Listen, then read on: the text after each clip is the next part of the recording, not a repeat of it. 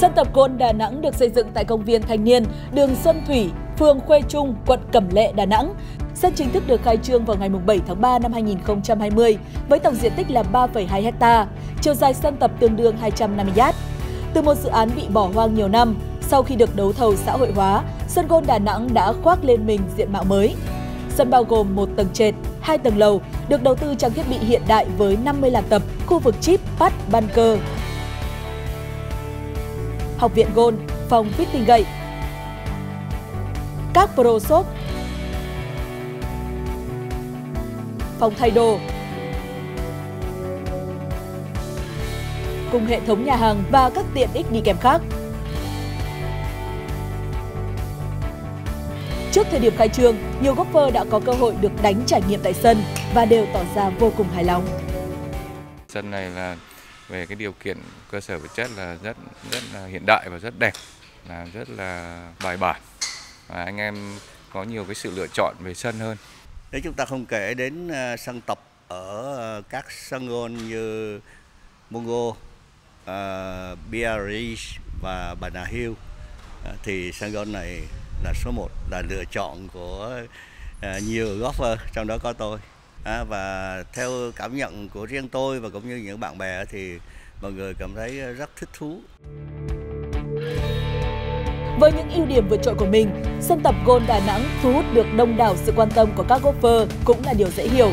Trước thời điểm khai trương, đây cũng được chọn là địa điểm tổ chức buổi demo sản phẩm mới của hãng gậy tên tuổi TaylorMade.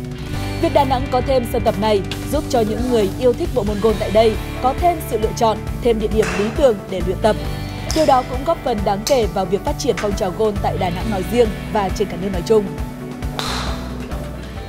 Đã từ lâu rồi, Đà Nẵng có những cái sân gôn rất đẹp nhưng mà rất tiếc là không có cái sân tập nào mà để phát triển cái phong trào tập luyện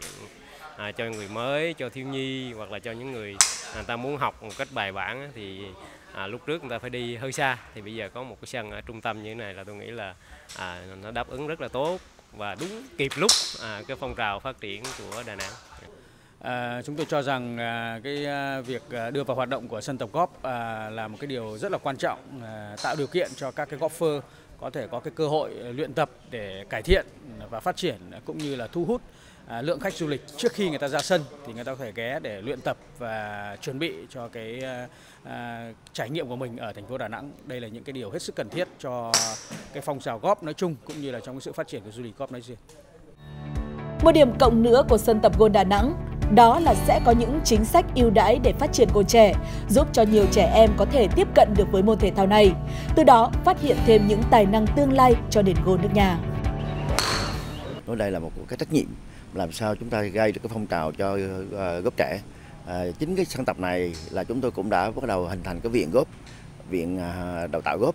cho cái cho giới trẻ. Thì chúng tôi đã mời các viện góp ở thành phố Hồ Chí Minh ra để hỗ trợ rồi ờ, mời các thầy uh, ở cái nước ngoài về đây để làm sao cho bắt đầu hình thành nên cái viện đào tạo để đưa vào ờ, cho cái phong trào góp của thành phố Đà Nẵng và các trường học của thành phố Đà Nẵng để làm sao để bắt đầu là cái truyền cái cái cảm hứng về góp cho cho cộng đồng. Đà Nẵng vốn đã nổi tiếng với những sân golf đẹp, đẳng cấp như Bana Hill, Montgomery, BRG Đà Nẵng Golf Resort thêm một sân gôn tập ngay trung tâm thành phố giống như một miếng ghép hoàn hảo vào bức tranh phát triển gôn sôi động ở thành phố này. Chắc chắn, với những người mới bắt đầu chơi cũng như những golfer đã gắn bó với gôn, thì sân tập gôn tại Đà Nẵng sẽ mang đến cho họ sự hài lòng cùng những trải nghiệm thú vị, khó quên. Đồng hành cùng họ trong quá trình rèn luyện, hoàn thiện các kỹ năng gôn của mình